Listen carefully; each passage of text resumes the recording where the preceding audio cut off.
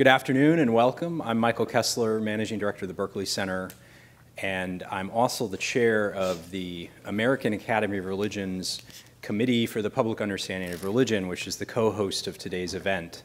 Um, I'm going to just hand this over in a second to my colleague Emma Tomalin, who is uh, a member of the committee who is going to moderate today's event. I wanted to say something about the work of the Berkley Center and of the Committee for the Public Understanding of Religion.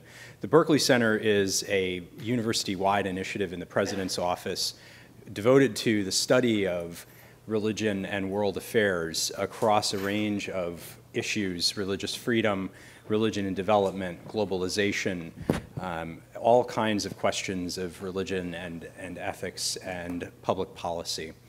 Um, our primary mission is to support the university and the work of the president in creating public understanding about these issues and helping to build curriculum that, uh, that builds student understanding and provides support for faculty, research, and for the kinds of public mission work that the university has in uh, these areas. That dovetails very nicely with my role as a faculty member in the Guild of the American Academy of Religion, where I'm the chair of the Committee for the Public Understanding of Religion with a few other colleagues here, Ayesha Chaudhry, who's on the panel, uh, Soret, who's uh, in the audience, Barbara McGraw, uh, Eric Owens, and Steve Herrick. Um, together, we help the Guild of Religion Scholars, 10,000 strong in the United States, North America, think about ways to help build public understanding about religion.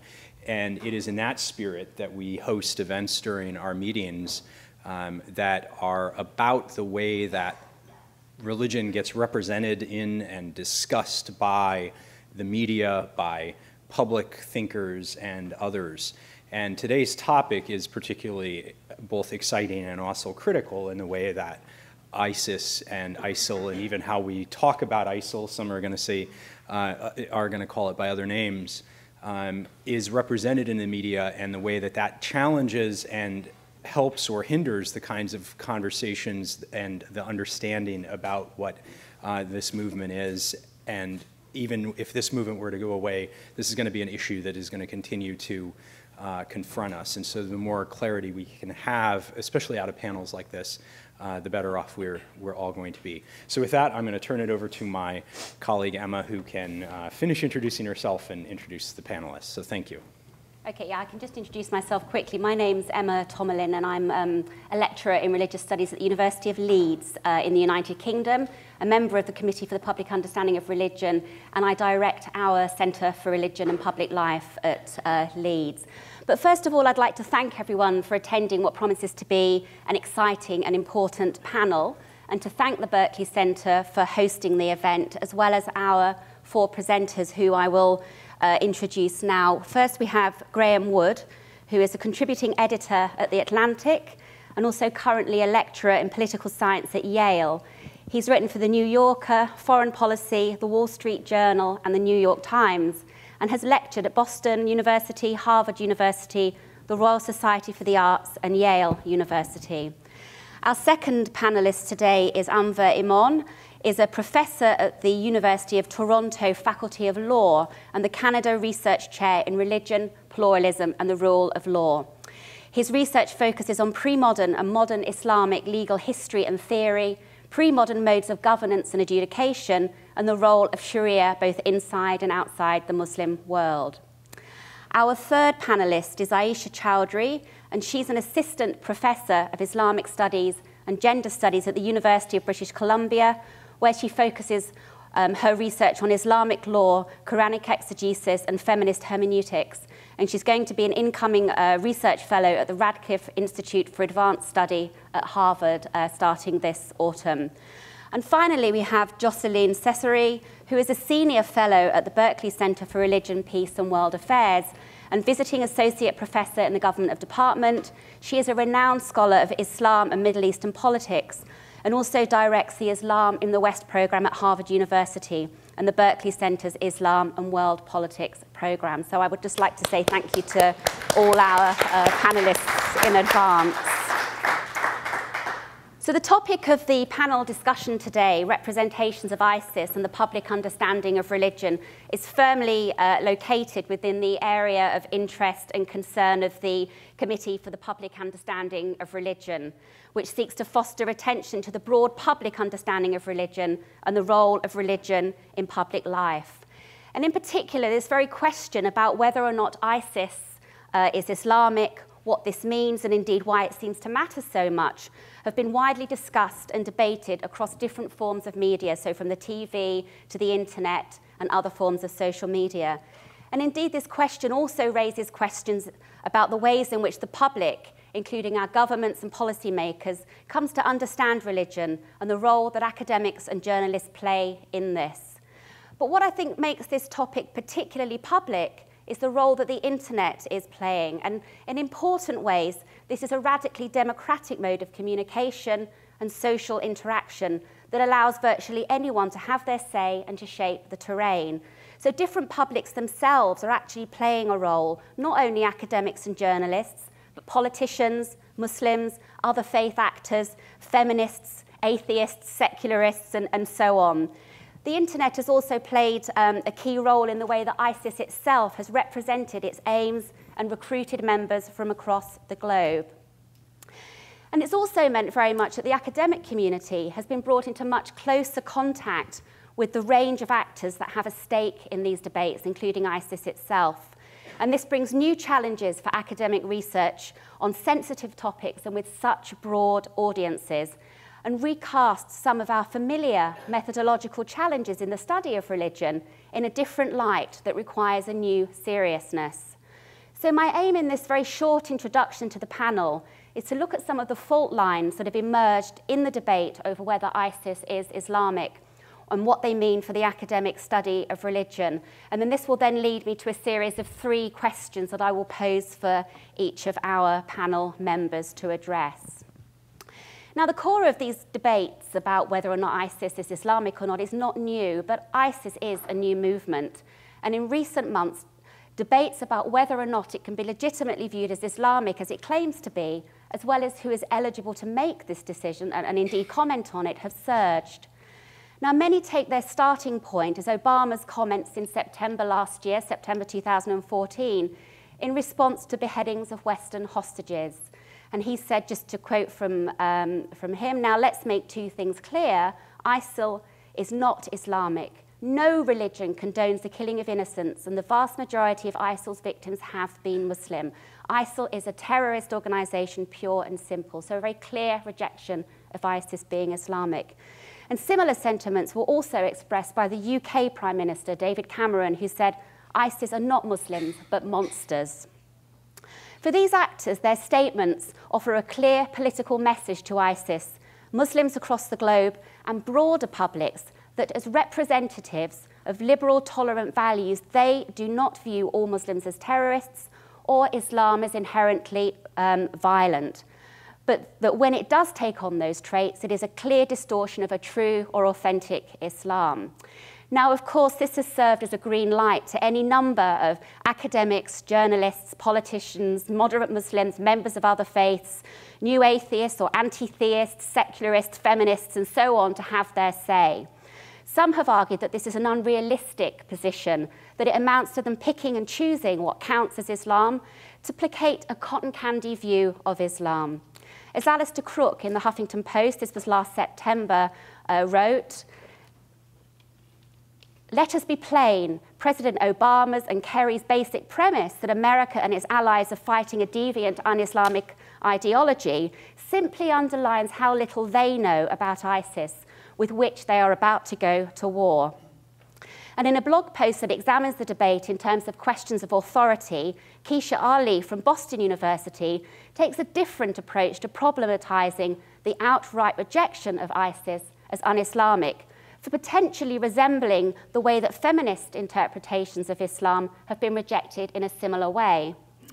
Others are much more sympathetic to the view of dismissing ISIS's claims to be Islamic, since it is the one this view is propounded by many other Muslims globally who do not recognize the Islam practiced by ISIS as the one that they adhere to, and who do not, do not want to legitimize ISIS is claimed to be uh, legitimate by agreeing with it. The debate has been massive. And just to give a flavour of some of the headlines I've picked up from the internet, from the New Republic in September 2014, we read, if ISIS is not Islamic, then the Inquisition was not Catholic. Again, in the New Republic in March of this year, how Islamic is this Islamic State? Not at all.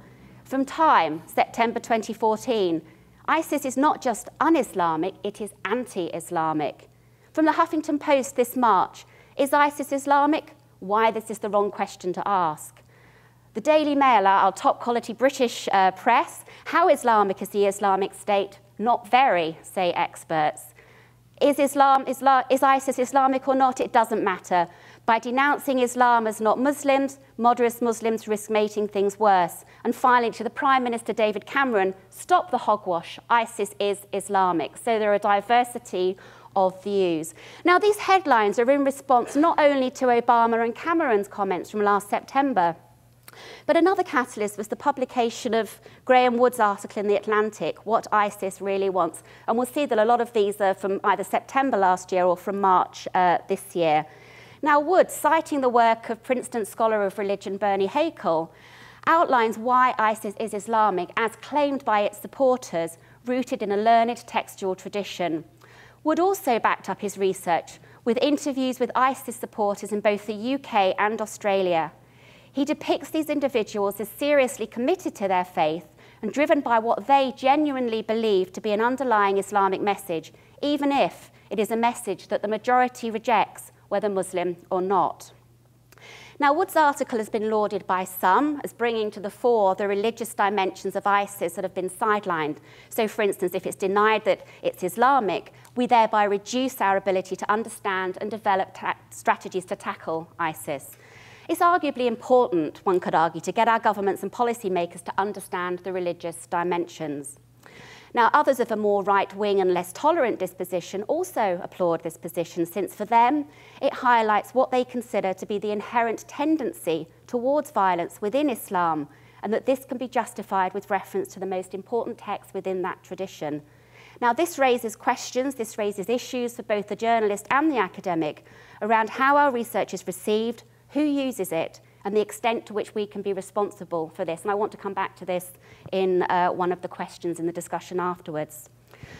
There have been many critiques arguing that Wood essentially promotes the idea that ISIS is Islamic when such a view is at odds with the majority of Muslims, um, what, uh, with the majority of what Muslims think, as well as being inconsistent with formal legal traditions of interpretation. From many of the critiques we can read, it seems as though the only acceptable topic to write about is the view that ISIS is un-Islamic, because to write anything else essentially justifies the values and activities of that movement.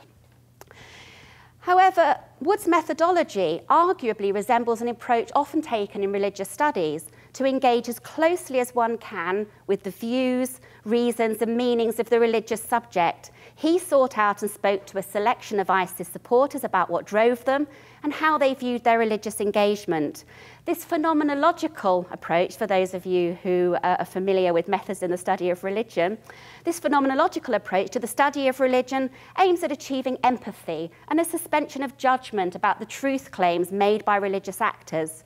And this approach within the study of religion has undoubtedly given rise to a rich body of data about religious engagement and what it means to religious actors. However, it's also been widely criticised for being essentially apologetic for the truth claims and positions held, in that it often does not engage in a critique of those within wider socio-historical settings. It can come across as taking those views as representative of a broader tradition. So perhaps a crucial point here seems to be whether the commentator is agreeing with the position or merely outlining it and the degree to which it's possible to actually clearly see this. So I'm going to finish now and pass over to our panelists.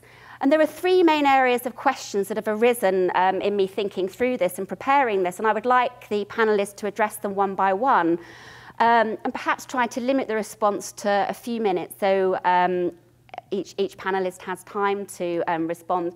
And also perhaps we'll, we'll have time, I hope we'll have time at the end for, for some discussion and input from the audience as well. So my first question very much um, concerns the role of academics versus journalists. And I want to ask each of you, what role can the scholar of religion and the journalist most usefully play in the debate over whether ISIS is Islamic or not? And do they have different roles? I mean, are we doing something different as academics to um, journalists? So Graeme, would you like to respond to that question first? Sure, I'd be happy to. Um, first of all, thank you for the invitation to be here. Thank you, Michael, as well. Um, uh, I always like speaking to subject matter ex experts because that's what journalists do. You know, it's my job to find people who think about these things, who are knowledgeable about them, and then to try to translate them to a broader public. Um, I think it, it's, it's useful to, you know, the, the question of whether journalists have different roles from professors par partially I should just say I hope so because that's that's how I make my living is by having something, bringing something different to the table from what my colleagues here uh, can bring. Um, as a journalist, you know, I don't write exclusively about Islam. I do not study Islam. I talk to sources and I bring back what they say. And then I, I write about other subjects. I write about, you know, hurricane, the science of hurricane research. Uh, I, I, write about professional wrestling, um, all of these things. And when I talk to experts, um, with, with minimal research into my background, they can know roughly where uh, the position of ignorance that I come from. And you know what I what I like to to uh, tell them if they're if they're curious about how I do my work is. Uh, if I do not come to the subject with a position of ignorance to start with, I have to imagine myself into that position to do my job well. Because when I'm ultimately writing for an audience in the Atlantic, um, perhaps I do speak Arabic. Perhaps I do have a, a, doctorate in Islamic law. I have to pretend that I don't so that the people I'm speaking to are uh, spoken to in a, in a, way that they understand. Um, it's, it's, a, it's a, a part of, of my methodology. You know, I became a journalist, so I didn't have to have a methodology. But in, in, a, in a way, you know, the, the way that I have to do my work is to uh, ideally become as educated in a subject as possible and then imagine myself back into the state that I started off in and then go from there. So with the ISIS article in particular, I happen actually to have some background in this, not so much an academic background, but a regional background, a history of reporting uh, in Iraq, Syria, the Middle East more broadly, uh, language background, uh, ability to at least engage with texts, if not read them fluently. So um, I went, uh, starting really with the slew of, of articles and public statements of political figures that, that you uh, alluded to. I, from my own knowledge, it just seemed a bit odd that there was this, uh, it felt almost like a consensus growing about the Islamicness of the Islamic State. And it, it seemed a bit strange. So I, went to Bernard Haykel, uh, among others, um, Bernard I happen to have known for a decade, so he was an easy person to reach out to. But I went to others and asked, okay, if, if I were to understand the Islamic State, if I were to try to figure out where they come from, what they think, who would I speak to? And as you mentioned, there is the internet. There's, there are quite a few people out there who can say exactly what, what they think and who are supportive of the Islamic State. So I went to them. I went to the small number of academics I was directed to which, uh, and, and, at the top of everybody's list seemed to be Bernard Haykel because there are not very many people who study ISIS. They're, they're generally, to be perfectly frank, they're interested in the more interesting parts of Islamic studies. Um, so I went to those experts and then uh, looked for the statements of the group itself. Um, and that, I think, uh, the conversation with Haykel, I, I think it, it, might be helpful because I, I know he's not here to, to, uh, to speak to, to his view of it, but it might be helpful to know how that, how that works, to understand how a journalist does speak to an academic. He was speaking to me with knowledge that uh, you know, we, had, we had had conversations before on this, this subject. He knew that I, I was not completely innocent of, of the Arabic language or of, of the history of the group. Um, and he was able to speak to me with some confidence that uh, if he mentioned um, the, the differences in methodology between ISIS and another group, that uh, it would not just go straight over my head. It would be something that, that if I didn't understand it in full right then, then I would have enough of the important aspects in my notes to, to educate myself and follow up later. He also knew, because he'd spoken to me before uh, that if he's speaking to, to a journalist who, who uh, has the luxury, as I do, writing for The Atlantic, of a long lead time, of a fact-checking process, that everything that he said would, be, would come back to him before it came to print, that it would be read back uh, verbatim and in context to make sure that it was properly construed and uh, properly quoted. So um, I'll just say to end this, this kind of long-winded and, and roundabout answer that what, a, what an academic can do when speaking to a journalist, I think first is to recognize that uh, there are, there, there are um, methods that a journalist has that are different from what the academic has. And th these can be relied upon, uh, tested, and the, the academic can have some knowledge of who the journalist is and the ways that the journalist will be able to interpret what's said. But most of all, I think what's important to realize is that the academic is doing something different from what journalists are doing. Um, there's, in both lines of work, this uh, dedication to the truth, to accuracy. But what I do is principally talking to people and understanding that they don't have the same obligation to, um, to be able to kind of translate these, subject, these subjects and these views widely and in a way that everybody will understand. I have that obligation. I am a translator in that, in that regard. Um, and I think that the most I could ever ask for from a scholar of religion would be for that scholar to, uh, first of all, not dumb it down, certainly not say something that's false, but also to, uh, to test me out a bit too as we go. Uh, in that conversation, to, to figure out, you know, if he says that the Hanbali methodology is something that, that, uh, that uh, appears frequently in, in fatwas of the Islamic State, to make sure that, uh, that when he says that, that's something that, that the meaning is not lost on me, and to stop and educate me as we go. And then at a certain point, to step back. There are some scholars who do have this talent for translation, and they can sort of do my job for me. Um, but really, it's a different skill set. It's a very different skill set. So I, I certainly wouldn't, wouldn't uh, ask anyone who's inclined to, to develop that skill set to stop doing so. But if you try to do it uh, without, without actually having developed it to the same degree that a professional has, then I think this, the, the things that you want to get across may not get across as well, if, than, as well as they would have if you had simply been, uh, as a scholar, more patient um, and sort of tested my understanding, tested the journalist's understanding, and allowed the journalist to do the translation work that, that he or she is trying to do. Okay, thank you very much. Anver, can I ask the same question to you as well? Sure. Um, uh, it, again, it's, uh, it's a real pleasure to be here, so thank you for inviting me. Um, far be it for me to speak about what journalists do. I don't want to tell anyone else how to do their job because I don't like anyone telling me how to do mine, uh, though I suppose tenure provides me that cover. Um, but for me, the scholar, at least what I think, um, the question of ISIS and Islam offers me as, as, a, as, a, as a one who researches in Islam and Islamic studies is to interrogate the question itself. Why is the question itself relevant? Uh, why are we asking the question and in whose interests? Um, and to me, when I think of the question, I, I think of the state.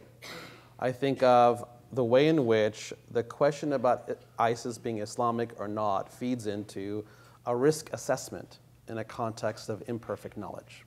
So, in the context of the United States, the we who's asking the question is oftentimes government agents, policymakers. When we talk about the we, we're actually talking about the we who might invade, the we who might engage militarily in the region. And the question then becomes to what degree does understanding ISIS's religious framework provide us insight into that risk assessment? It's in this context that I think of the political scientist James Scott at Yale, who, writing on, on techniques and the, the, the theories of domination, writes about what he calls the public and hidden transcripts of the dominated and the dominating classes. He argues that it would be a mistake for us to assume that those who are dominated by publicly conceding the space to those who are oppressive uh, are complicit in their own oppression. He talks about slaves, he talks about laborers, serfs, who publicly might seem like they're complicit and complacent, or complacent and thereby complicit in their own subordination. But then he says, an ethnographic inquiry into those who are dominated in the spaces in which they are removed from the observations by those in power reveals that the dominated, the oppressed, have their own hidden transcript, hidden transcripts of subversion, hidden transcripts that actually reflect their own critique of the status quo. And so, in his own work, he reveals to us that in context of power and domination, it would be a mistake for us to adhere to the public transcript as if it were the only transcript. And so, for me, in thinking about whether or not ISIS is Islamic is a relevant question will depend upon whether or not we think ISIS's story about its own Islamicity is a public or hidden transcript. And to me, when one looks at the fact that all that we know of ISIS is what it decides to tell us, when it controls the social media output, when, um, I mean, I was, I was actually intrigued by the three British Muslims that you interviewed. I think in the article you write about how talking to the three of them was like speaking to the same person but with different masks. And that imagery is really important because the mask of the public transcript is what renders them monotone, but also yields for me the question what's being hidden? And to me, if we're going to inquire into the question of ISIS as Islamic as a mode of risk assessment, we also need to account for the fact that what we know of ISIS is what they want us to know. And there's a whole lot that we don't. So that's one aspect of the question that I find problematic and the way in which I think the question itself feeds a different one, one of risk assessment. And I want to raise questions about that. The second aspect that the second issue that the question itself raises for me is it puts into stark relief our anxieties about religion in the public sphere. Uh, in, the, in a context of a, of a relatively of secular presumptions of the state, uh, enlightenment notions of rationality that render the religious best suited in the private realm, um, ISIS forces us to think about the public space and the public place that religion can play. Uh, and it calls into account for us what work, political work, secularism is doing. So when we think of living in a post secular society, um, it's groups like ISIS that force us to encounter not only the political work secularism is doing, but our own failures to achieve that kind of secular perfection. So, in, on the one hand, you see the work religion is doing for ISIS as it both forms and performs its state. But we see the way religion also allows the state of Israel to form and perform its state. Conversely, we see how laïcité allows France to form and perform its state as it regulates women's headgear and skirt length. So, what's interesting to me then is how the question of religion in the public sphere, uh, uh the, the question of ISIS and Islam, in thinking about risk assessment and thinking about religion in the public sphere, again features how do we, how do we imagine the state? How do we imagine its, particip- its, its calculations uh, and its activity in the world? And the third, of course, related to the second point, is if religion is to be privatized, if religion is, or if our assumptions are religion is best suited in the private sphere, not in the public sphere, it forces us to understand the state as a secularized form of a Protestant theology where the Christianized notions that render, the, render, render that for God for God and, those, and, and, and, and that for Caesar to Caesar um, imposes a certain kind of framing that, that Carl Schmitt, Wendy Brown, Paul Kahn have alerted us to as the state embodying in its, in its, uh, in its claims to sovereignty uh, a secularized version of a Protestant theology. And if that's the case, then ISIS, in its Islamic version, of a politics forces us to think about the fact that as much as we may have this secularist notion of progress or of failed progress, that in fact it has been and always was an illusion. Thank you. Excellent. Thank you very much. Um, Ayesha, can I pose the same question to you, please? Well, thank you very much again for this opportunity to be on this panel. And as a co-organizer of the panel, I also want to thank my panelists for joining us on this panel today. Um, so in terms of answering that question, I think that there is actually some overlap between the work of journalists and scholars. And um, I think that that overlap is particularly in regard, I want to talk about it in regards to the moral obligation of the journalist and the scholar.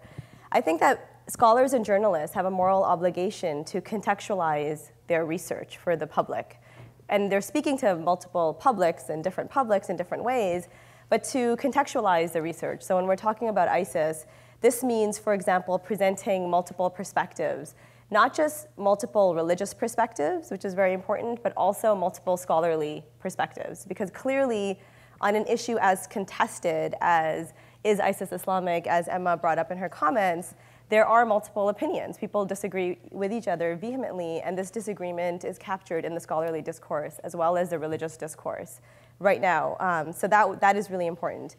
It's also important, I think, for both the scholar and the journalist to highlight the moral quandaries that they encounter in the, in the subject that, that they're studying. And so this means that I don't believe that there is any such thing as a disinterested or um, a dispassionate position that a scholar or a journalist can have. Each position that, every time we take a position, I mean, we have to let go of this Enlightenment idea along with the rationality, the idea of objectivity, that someone can exist in a vacuum without a social historical context and talk about an issue to capture the truth of that issue. There is no, there's no such positionality, so it's important to be aware and to be upfront about the subjectivity that we are coming to our subject matter from and the interest that we may or may not be serving in that position in, in, in relation to our subjectivity. Um, that also, I mean, I would say further, that, that would also mean recognizing, of course, the limits of our expertise and knowledge and making sure we don't make sweeping, broad generalizations, um, that we restrict our comments to the subject matter that we're studying, that we have actually done the research to substantiate our claims about. And I think that the scholar also has a, a, a, further responsibility. Journalists are supposed to speak to multiple audiences. And I think scholars also have a responsibility to speak to mul multiple audiences. Usually, I mean, when scholars don't speak to multiple audiences, they will use the idea of, you know, their dispassionate, disinterested work as an excuse almost to not engage with multiple audiences. But I think when it comes to issues like the study of ISIS, for example, or the study of Islam in this highly politicized context, um, it is important for scholars to try to make that work accessible. And I'm excited to be on a panel with another Canadian, which doesn't happen all the time. But, and we may disagree about this, but it's three Canadians, nice. Um, but in Canada, we are, you know, we, as I said, we are, um, we are, our salaries are paid by taxpayers. And so there's a moral obligation upon us to speak to the public that is funding our research. And there's a lot of institutional push for that. And I really value that, actually. And so I, and I bring that to my comments today. Thank you, Ayesha. Jocelyne. Yeah, um, I would like to address the question by going back to the premises of the article in the Atlantic Monthly. What strikes me is in the beginning of the article, the justification is we have to take these people seriously. They are not lunatics or fanatics and um, they really are not instrumentalizing some kind of Islamic references. They are rooting their action in Islam.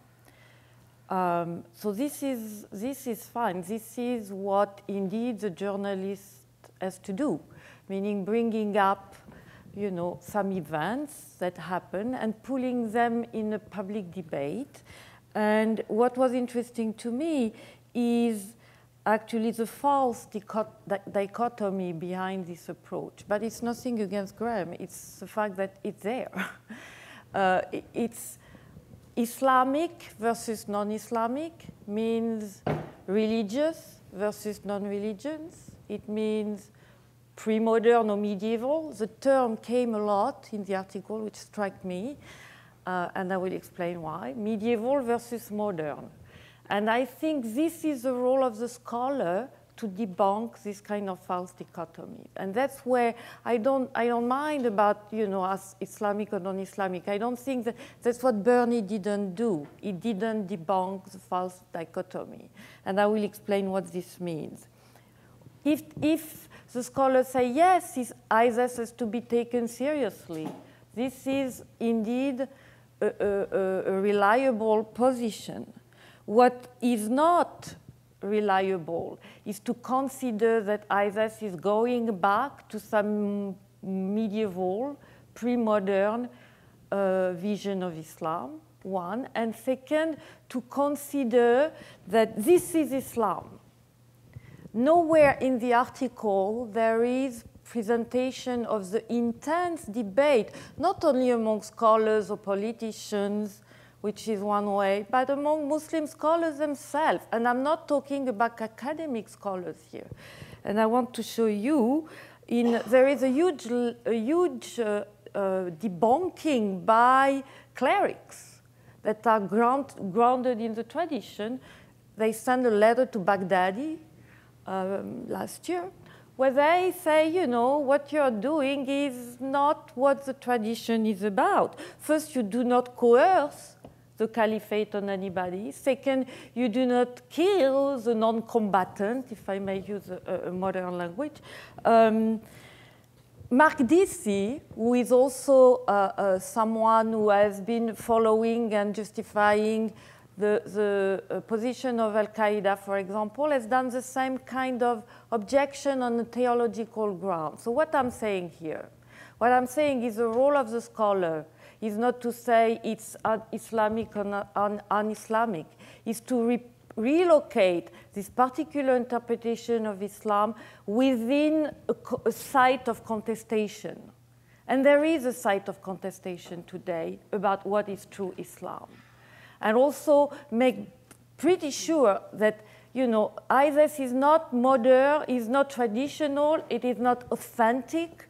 It is a modern movement that is based on the Wahhabi Salafi interpretation of Islam that goes back to the 18th century. So it's not medieval.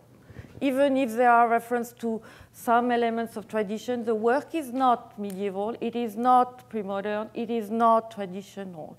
And that's what the scholars to say. So this is in debate. I can show you all the facets of the debate.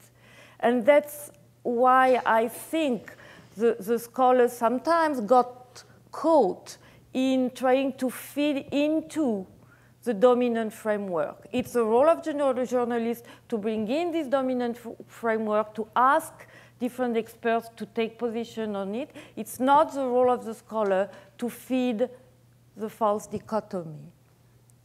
Um, okay, thank, thank you very much. Thank you. Um, I can feel that a debate could quite easily get going between the panelists, um, but I think we'll, we'll press on with the, the questions for, for now. Um, so I want to ask a question around the topic of the ethics of scholarly and journalistic practice. Um, and I think this has begun to come up in the responses so far. So specifically, where, where is the line between giving voice to and endorsing the views of violent groups and how do we effectively make that distinction clear. So both Ayesha and Jocelyne were, were pushing towards that in arguing that the academic's role is to really present the context um, and the fact that this is a contested area and to make that clear. And is it the responsibility of the scholar of religion or journalist when discussing sensitive topics to ensure that their research does no harm or is this completely out of their control? I mean, you know, what, what, what, are, we, what, are, we, what are we doing here? Um, how, how responsible are we? Can I ask this question, first of all, to you, Graeme? Sure. I said before that as a journalist, I don't have a methodology or I'm exempt from having one, but actually I do. And the, the methodology of journalists, at least the kind of journal, journalism that I do, I think it, it is perhaps, perhaps you could think of it as a kind of subset of an ethnographic methodology. It's an attempt to listen to uh, people, to hear what they say, and then try to, to overhear things that they say, that they don't say as well, and to understand them through that way. And part of that does entail actually listening to people who support the Islamic State and simply reporting what they say. Just to describe this worldview is something that uh, I think uh, was lacking, um, and that, that, my, that my article attempted to, to fill in. Um, you know, I, I, I, teach students about journalism as well as practicing journalism myself. And one thing I, I like to point out that is that in different phases of public knowledge of a subject, there is a different type of, of article or journalistic product that, that is acceptable or necessary. Um, Vice, for example, did um, a, a, a, documentary about the Islamic State from within the Islamic State. And it, it took some flack for presenting the Islamic State uh, spokesman really without comment, just allowing him to, to say what, uh, what was going on, saying in theory what, what the Islamic State was, and giving a, a very sunny picture of what the Islamic State was. Um, and uh, that was a fantastic documentary. The reason that it was possible for that documentary, despite the lack of criticism within the documentary of the Islamic State, uh, the reason it was, it was so fine was because at that point we really did lack information like that. And I think even up until uh, early this year, a real understanding of what the Islamic State was in its own terms was lacking, and I think in, in a, it really still is. But that is what I was trying to do. Um, and I'm pleased to say, and I, I will get into um, you know, some of the comments that have been made earlier, I do think that, that the piece that I wrote in The Atlantic, it did actually try to situate these things. Um, it did situate in terms of debate, uh, the, the debates with um, Mohammed al-Makdisi, for example, were referenced and, and uh, gone into in some detail, and the debates within uh, Islamic communities as well. Um, you may remember at the end of the article, those of you who have read it, there's a long section that describes the, the work of a American Salafi cleric who has a principled objection to the Islamic State. This is one aspect, one one of many aspects of, of debate within uh, the, the world of, of the, wor- the you know, broader cultural world of Islam, but also within Islamic scholarship about the authenticity and uh, interpretations of the Islamic State. So I think it's important to, as, as, we, as we decide whether a um, uh, whether an article or a statement by a scholar about the Islamic State is just parroting what the Islamic State is, to, uh, to understand also the context of what has existed before, what's already understood. And if we don't have that baseline of at least understanding in the terms that the Islamic State would choose how it thinks of itself, then we're, we're long before the point when we can describe those terms uh, in, um, in the context of a larger debate that's critical of those terms. So both of them have to be done, one, however, before the other.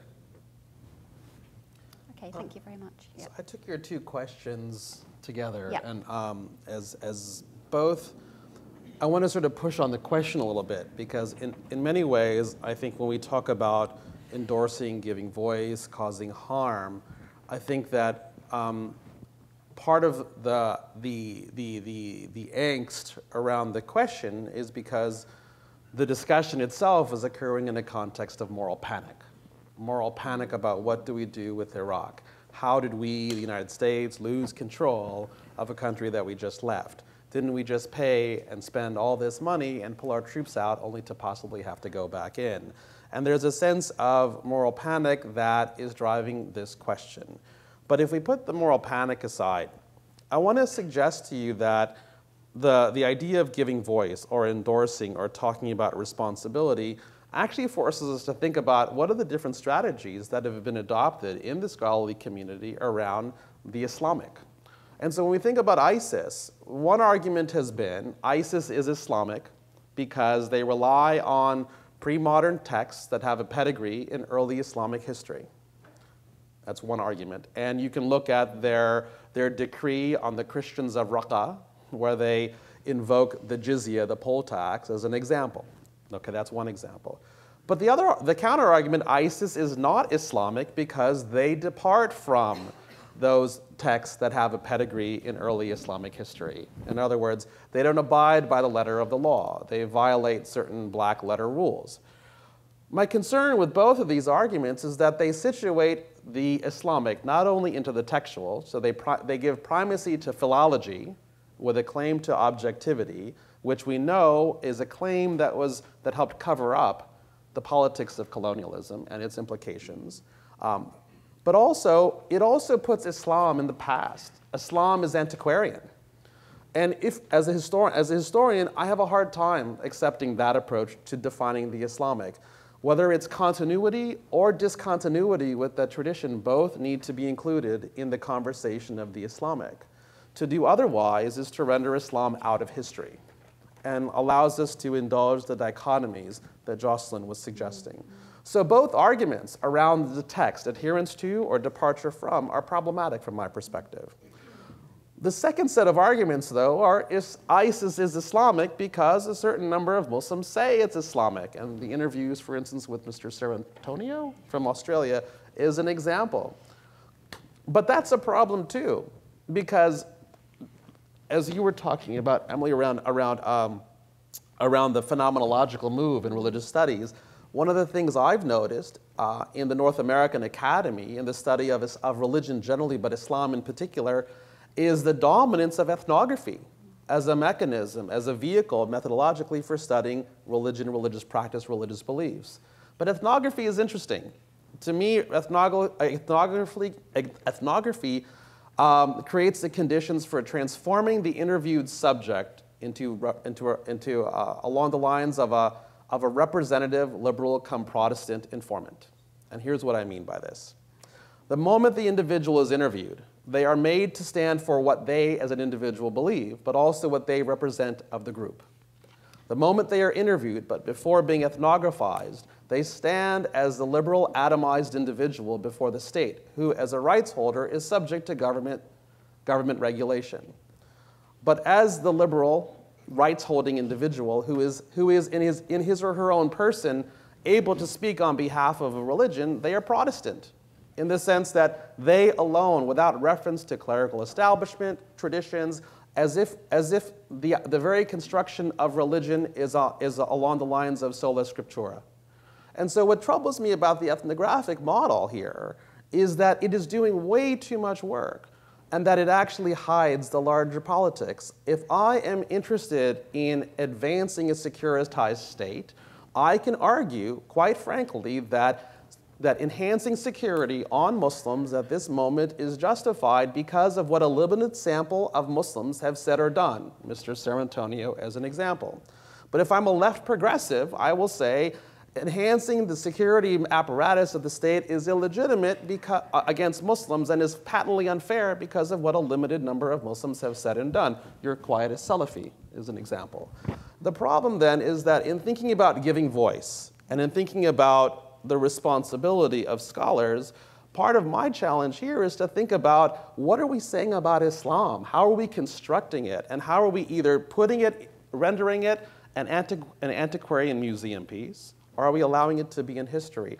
Are we also allowing it, and, and how are we, in the ethnographic framing of it, actually playing a certain politics without being clear about it? Thank you. Mm. Excellent, thank you very much. Ayesha, can I ask the same question yes. to you, please? So in terms of um, this question, what I'd like to think, us to think about is this responsibility of the scholar. Is, as I would say that in this conversation about ISIS or Daesh, I want to use the word, the term Daesh, just to remind us of the contested nature of ISIS within the Muslim community, within the Muslim communities, because there's more than a billion of us. Um, that is to think that I think that it's important for the scholar to think about Daesh both in a structuralist way and in a culturalist perspective, from a culturalist perspective. So what does that mean? So from a structuralist perspective, it's to think about the structures of power into which they fit in, right? So the political vacuum that creates the conditions in which Daesh can arise, the illegal wars in Iraq that create the conditions for ISIS to arise, the, you know, the policies of various nation states and their agendas and how they have enacted in that space to think about history, sociology, to think about all of these things, and to recognize that it's not like that we're not looking at this one group in isolation from everybody else. But the other perspective is to also look at it from a culture, to use a culturalist critique, which is to hold, to take seriously the claims that ISIS and Daesh followers are making, and to think carefully about why those narratives that they are using are compelling enough for a minority of Muslims in around the world to travel to Iraq to join them. And so basically what this, and, and, the reason that I think that it's important to take the structuralist and the culturalist critique seriously and simultaneously, to look at them both in the same time, is that in isolation, these, both of these critiques have the possibility of dehumanizing, othering, and um, reducing like the conversation uh, about Daesh. So if coming from a culturalist perspective, if we only focus on structures of power, and we only focus on, and what, if, what it forces us to do if we only focus from that perspective is it forces us to dismiss and ignore whatever Daesh members are saying about themselves, and it forces us not to, Ask, it doesn't allow space to ask the question as to why their narrative is compelling for Muslims who are traveling there. But focusing alone on the culturalist critique without looking at the structuralist critique makes us completely think about these people as if we have nothing in common with them. They're totally crazy, foaming at the mouth, psychotic people who are monsters, and so we don't need to take, you know, like they have nothing to do with us, and we are not implicated in any way. So I think that the scholarly responsibility is to maintain both of these approaches at the same time. So make, uh, like look at them from a sociological, historical, and political perspective, but also take religion seriously in that conversation. Thank you. Jocelyne. Yeah, um, to, to loop back also to the, to the previous uh, discussion, I think that the, the responsibility of, of, the scholar is to be very aware that in such a heated political debate, where, as you mentioned, not only scholars, but also politicians of different uh, thread and, and colors are, are positing themselves on uh, either uh, it's to be, to be aware of, of the, respons the social responsibility. And I think that what happened in the debate around Bernie's position is that, that he didn't, I mean, he talked in an authoritative way, which is fine, but it, uh, the responsibility of the scholars to understand that such position becomes authoritarian in some way vis-à-vis -vis the public debate. And, and that's where the responsibility lies. And to go back to, to Graeme's point, I mean, yes, the article presents the point is not about the journalist work, which is done fine. It's about the fact that even the voices that are presented here, the scholar could have said, yes, Maqdisi is fine, other voices are fine, but there is even a broader circle around that that is not even mentioned. Not by, it's not your job. You said it clearly. It's a job of the scholar, and that's his responsibility responsibility to put this in a broader, there are serious theological discussion, not only apologetic yes, no, serious theological discussion about what ISIS is doing. And that's the role of Bernie to say or reposit his own perception in this broader circle. This is called um, ethics in, in, in, this sense. And, and and that's where I think the problem is when the scholar thinks that he has the key of everything. It's a very individual-centered approach on I have the expertise, the knowledge, and I'm going to tell you what is right and wrong. The problem is I am a social scientist. I am not a specialist of text. And what is right and wrong is not only related to my shrewd reading of the text now. It is related to a transmission of what is right and wrong, what is true and false. And I just want to give an example elsewhere. Today, if I ask everybody, even no specialist of, of Christianity, everybody will tell me, oh yeah, in Christianity, we separate between what's God and what's Caesar. Interestingly, interestingly, until the emergence of the nation state, there is no theological debate in Catholicism and Christianity about the separation between what is God and what is Caesar. So the doctrine of today is the outcome of a certain social and historical process. And, and that's the responsibility of the scholar to say, wait, you have this angle, it's fine, but look here and look there. And of course, the journalist cannot do that. And, and, and that's where indeed authoritative becomes authoritarian. I, have, I am shrewd, I know the language, I know the technique, I'm going to tell you what's right. The problem is what's right for me as a scholar may not be right for not only ISIS, but the fact that the, the truth of Islam, the orthodoxy of Islam is today the highest dispute. We usually think, you know, Islam versus the West. Actually, what is Islam is the highest contested point among Muslims themselves. Thank you. So thank you very much for those answers. I'll just come to our final, my final question now before I um, open up for, for the audience to get involved. I want to ask a question around the topic of, of reaching different public. So what I specifically want to ask is besides doing research for the pure exercise of, of understanding, which is, which is what we do as academics, how can scholars best discern, understand ISIS and similar movements in ways that are accessible to the public at large, as well as governments, policymakers, defence and intelligence communities. So how can we actually get our message across to these broader audiences, across to these publics? I mean, not least when we consider how complex and, and theory-driven and, and concept-driven much of our research is, and, and the complexity of these questions has, has come through very strongly in the answers that we've had so far. So how can we ensure that the, that the right model or a useful model is communicated to these broader audiences, given the complexity of academic research, but also very much the lack of public literacy about religion. I mean, there's a very big gap to be uh, bridged here. Um, so can I put that question first of all to, to you, Graeme? I mean, I, I, know you primarily work as a journalist, but you have an academic background um, as well. So.